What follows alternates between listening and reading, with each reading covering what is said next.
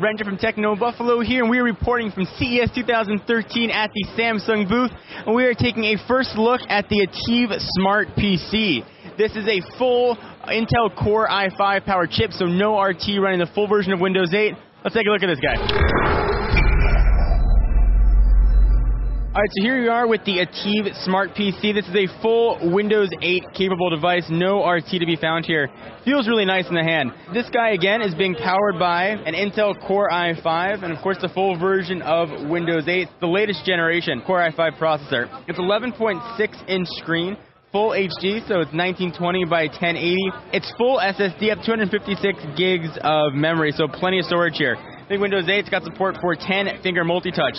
This thing has been sitting on the show floor for a while and has a lot of applications open, and it is blazingly fast. That's what we can expect from tablets running the Intel i5 line. Could be very excited. The design is pretty simplistic slate. We've got a vent grill on the top, spot for micro SD for expandable storage. You've got a full size USB 3.0 port there. If you want to prevent it from doing auto rotation, you've got a button right there. You've got a power and lock button, microphone, 3.5 millimeter headset jack. On the left hand side of the device, HDMI out, volume up and down. On the right hand side, we got nothing.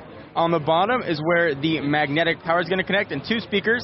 And it's got one central home button that's going to take you right back home to wherever you want to use. This has been a really pleasant experience. It's really surprised at how fast this works. We've seen some PCs here on the show floor uh, that have not been nearly as fast. This guy is absolutely humming along after being used for a full day. It's going to come with a slew of accessories as well. If you've been considering maybe this guy versus Microsoft Surface, you might want to consider that it's got a full keyboard option here as well. If you like the S Pen they've got on the Galaxy Note 2 or the Note 10.1, you go ahead and use this guy as well to do all kinds of note-esque things. There are cases for it that you can actually put in the back that'll give you grip on the back so you don't drop it, and all kinds of good features here as well. They've locked down our ability to go to the full desktop, so I can't show you that. Take my word for it. This guy works extremely fast. If you're in the market for a Windows 8 computer and you want the power of an Intel Core i5 chip, but the flexibility of a tablet, this guy might be all you need. I'm Jon Rettinger from Techno Buffalo. Check us out for latest and greatest CES coverage, and I'll see you in the next video. Bye-bye. Sync AppLink puts you in command of some of your favorite apps while on the go.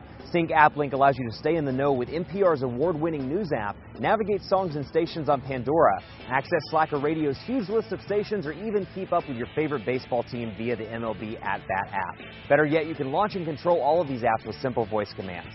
Sync AppLink is just another example of Ford's commitment to keeping you connected while on the go. Thanks again to Ford for powering this Techno Buffalo CES special.